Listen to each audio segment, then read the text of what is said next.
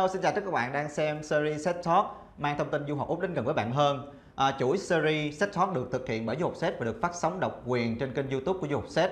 À, trong series Set Talk này các bạn sẽ được gặp gỡ tất cả những vị khách mời là các vị đại diện trường, các chuyên gia trong ngành cũng như là các cái cuộc sinh thành công của du học Set đến tham dự và chia sẻ giúp cho các bạn có được nhiều thông tin bổ ích hơn trong chặng đường du học sắp tới của mình. Anh là Trí và khách mời của chúng ta hôm nay chính là cô Như. Cô hiện tại đang là giáo viên uh, cho các chương trình dự bị tiếng Anh IELTS cũng như là một số chương trình tiếng Anh bổ ích khác. Thì uh, xin mời cô Như có đôi lời chào với các bạn cũng như là giới thiệu về bản thân.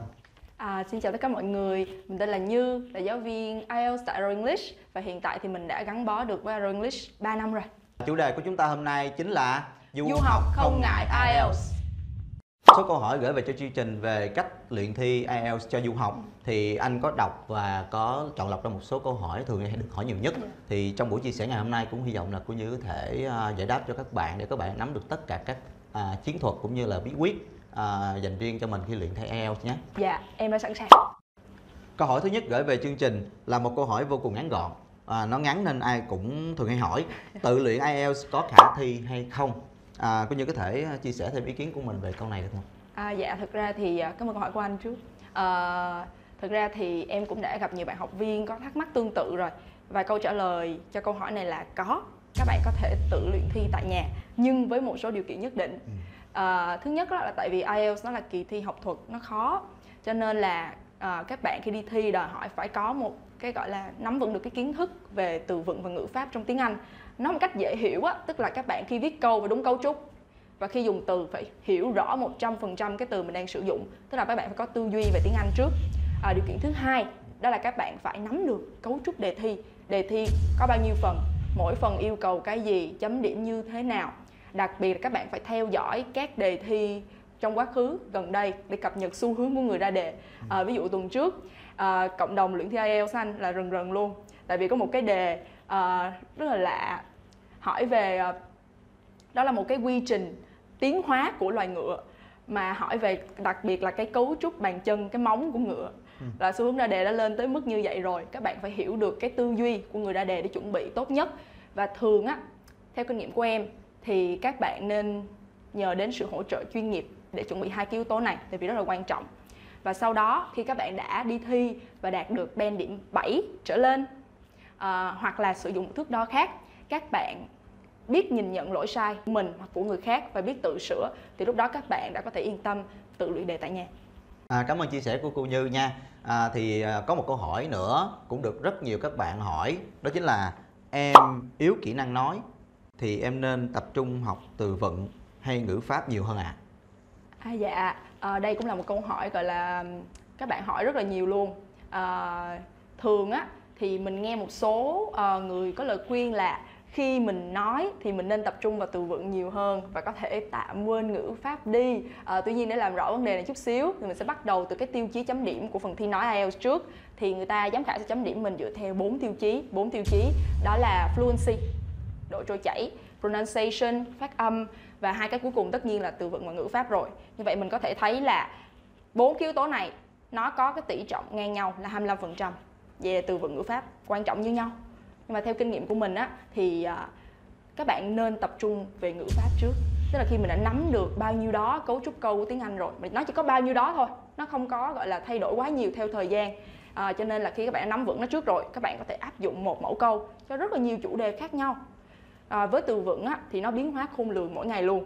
Và cái từ mới sẽ được thêm vào từ điển mỗi ngày. Cho nên là uh, các bạn cần phải trau dồi từ vựng thường xuyên mỗi ngày. Cảm ơn cô như nhiều. Dạ. vậy là các bạn nhớ nha thì uh, trong cái phần nói các phải trang bị đều như nhau là bốn cái kỹ năng về độ trôi chảy về phát âm cũng như là về cái ngữ pháp hay từ vựng. Nhưng mà chia sẻ của cô như cho các bạn đó chính là các bạn cố gắng uh, giữ vững cái cái học vững cái ngữ pháp dạ. và tiếp tục cập nhật liên tục cái từ vựng mới để có thể là phát phát triển tốt cái khả năng nói của mình nãy giờ toàn các câu hỏi của các bạn thôi thì anh trí có một câu hỏi riêng muốn hỏi riêng cô như thì theo kinh nghiệm giảng dạy tiếng Anh IELTS của mình á, thì cô Như thấy là các bạn sinh viên Việt Nam gặp khó khăn ở kỹ năng nào nhất? Thì anh có đoán được là trong bốn kỹ năng tiếng Anh thì các bạn Việt Nam sẽ thường yếu kỹ năng nào không anh? Theo anh đoán thì chắc là kỹ năng viết. Dạ, chính xác. Nhưng mà ngoài ra thì theo em quan sát là còn kỹ năng nói nữa. À, tức là do các bạn học sinh sinh viên Việt Nam của mình á các bạn rất là siêng năng cho nên được cái là các bạn rất giỏi. Hai kỹ năng là nghe và đọc. Đó là hai kỹ năng receptive hai kỹ năng tiếp nhận. Các bạn rất là tốt các bạn tự luyện tập tại nhà. Tuy nhiên với kỹ năng nói và viết á, thì đôi khi các bạn không có điều kiện không có cái môi trường chính xác để mình tiếp xúc với tiếng Anh gọi là tiếng Anh chuẩn á thì các bạn sẽ bị uh, lệch hai kỹ năng uh, produce productive này nhiều À vậy là đúng rồi cô Như à, Như là anh Trí có đoán đúng hồi nãy là kỹ năng viết đúng không ạ? Thì à, ngoài kỹ năng nói được các bạn hỏi rất là nhiều Thì trong đó cũng có rất nhiều bạn thừa nhận là kỹ năng viết Các bạn luyện thi IELTS gặp rất là nhiều khó khăn Thì anh Trí xin đọc một cái câu của các bạn như sau à, Làm sao để tránh viết nhiều hơn số từ được yêu cầu trong bài kỹ năng writing Khi làm bài em phải vừa đếm số từ vừa viết thì sẽ an toàn hơn ạ à. à, Thật lòng mà nói thì em thấy cái quan điểm với góc nhìn của cái câu hỏi này hơi lạ luôn đó anh. À, để nói rõ thêm một chút thì mình lấy ví dụ của bài essay IELTS Day Task 2 á thì ừ. đề bài có nói rõ là mình sẽ viết at least 250 words tức là tối thiểu 250 từ.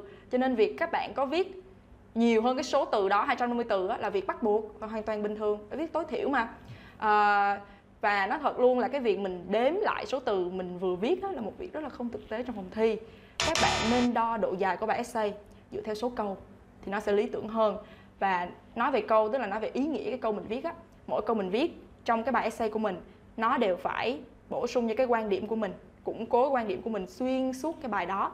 Các bạn tuyệt đối sẽ không được viết những câu quá tối nghĩa, lạc đề hoặc là lặp lại ý trước đó chỉ để lấp đầy số từ. Đó là việc hoàn toàn không nên và trung bình một bài essay như vậy thì các bạn nhắm khoảng 15 16 câu là đẹp như vậy thì dễ kiểm soát hơn nhiều so với việc đếm số từ À, cảm ơn cô Như nhiều nha. Vậy thì các bạn nhớ nha. Thì khi về kỹ năng writing thì các bạn nên để ý lưu ý là chúng ta không đặt nặng quá về vấn đề đếm số từ mà thay vì đó thì các bạn hãy đếm số câu và trong một bài viết của kỹ năng writing của task 2 thì các bạn nên uh, viết khoảng chừng chừng từ 15 tới 16 câu là được. Nhưng mà quan trọng hơn nữa là các bạn phải lưu ý là các bạn phải triển khai đầy đủ ý và các ý phải liền mạch với nhau để thể hiện nhất quán cái cái vấn đề giải quyết cái vấn đề đề bài. Mặc cho các bạn đang theo dõi buổi chia sẻ ngày hôm nay anh trí xin cảm ơn cô như đã nhận lời mời tham gia chương trình xét sóc kỳ này.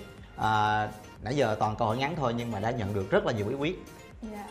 À, nhân đây thì em cũng muốn chúc các bạn sắp tới đang có kế hoạch học IELTS, lấy bằng IELTS hoặc là đi du học sẽ là mục tiêu của mình trong thời gian sớm nhất. Chúc các bạn sẽ luôn có why power, sức mạnh đến từ mục tiêu để cố gắng mỗi ngày nha. Cố lên! Các bạn có những thắc mắc câu hỏi liên quan đến du học thì có thể gửi mail theo thông tin hiện lên tại đây thì du học set sẽ giải đáp cho các bạn một cách sớm nhất có thể. Quên bấm subscribe kênh youtube của du học set để tiếp tục theo dõi các số set talk tiếp theo nữa nha. Hẹn gặp lại! Bye.